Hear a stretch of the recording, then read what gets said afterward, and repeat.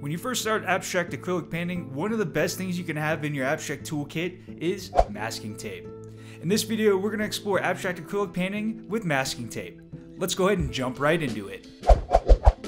So the good news is masking tape is almost as easy to use as paint rollers are. If you haven't seen my video yet on paint rollers, I'll go ahead and put a link in the description down below, or maybe I can do one of those cool YouTube things where I put the video up here. I don't know how it works yet. Masking tape is definitely a must-have tool for the abstract artist toolkit, especially for a beginner.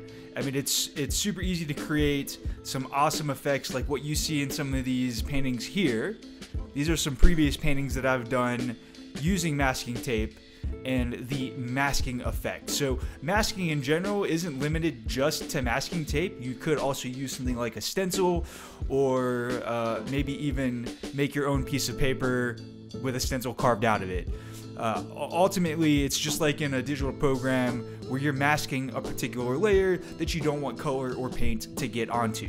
Before I get into the demonstration, let me just take a quick moment to introduce myself. I'm Marc, welcome to the Art with Marc YouTube channel, and on this channel, I'm looking to learn to create, market, and sell art, and I want to share everything that I learned with you. Now let's go ahead and jump into that demonstration. Alright, here we are. So we're going to start with this uh, canvas, this small 5x7 canvas that I have here did this background in a previous video uh, titled acrylic blending abstract acrylic blending techniques.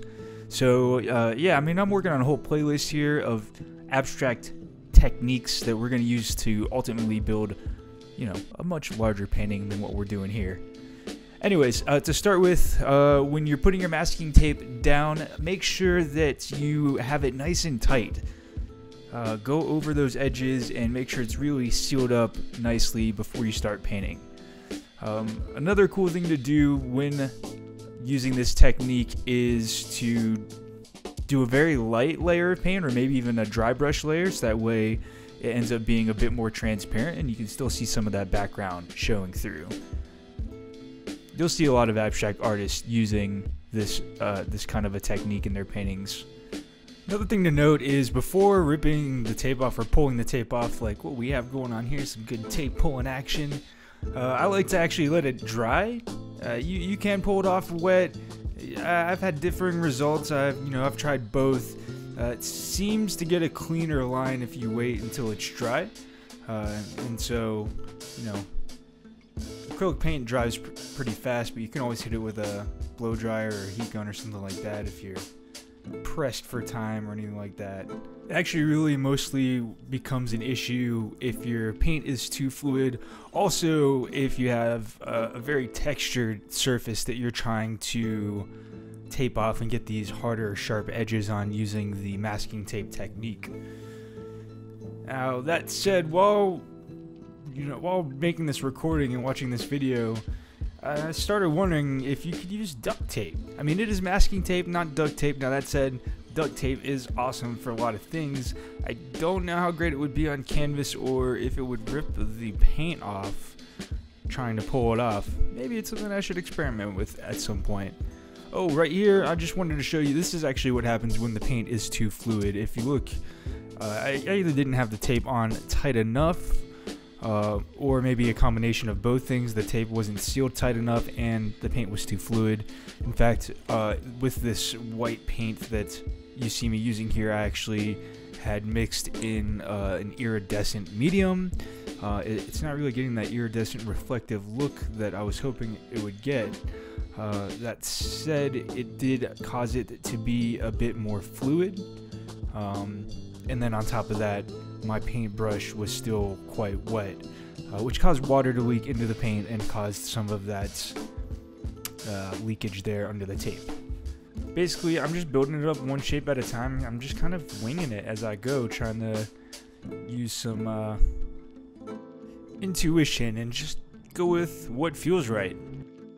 There's a certain point in most paintings that I do where I start thinking, ah, shit, I fucked it up think, oh man, no, it's this is not how I wanted this to go. Most of the time when I hit that point, I just think, ah, no, I just got to keep going. I just got to do one more layer, one more step, one more, add one more thing. And, you know, most of the time, it, it works out. So just trust your gut, follow your instinct, and even when it looks messy, keep going. Sometimes it just doesn't work out and you have to paint over the whole thing. That's okay too. That's about where I was at at this point in this painting.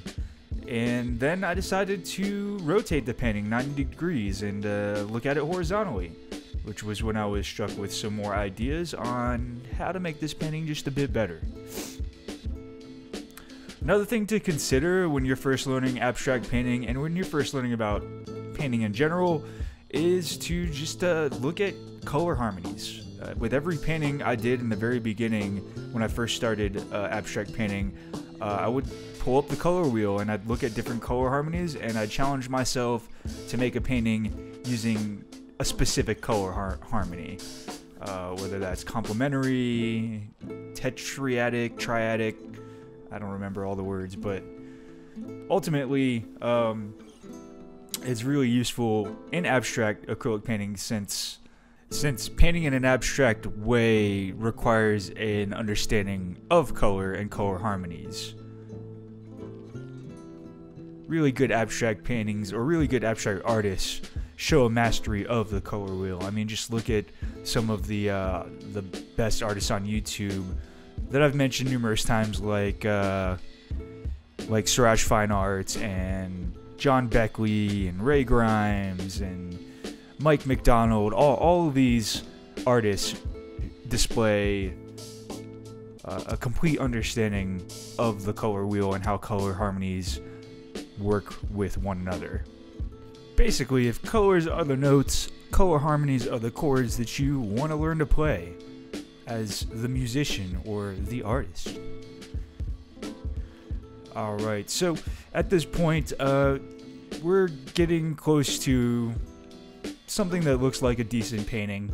Uh, I could have kept going and added more layers and, uh, and you know, kept building it up, but I just wanted uh, to call it a wraps here so we can wrap up this video and uh, move on to the next uh, abstract painting technique.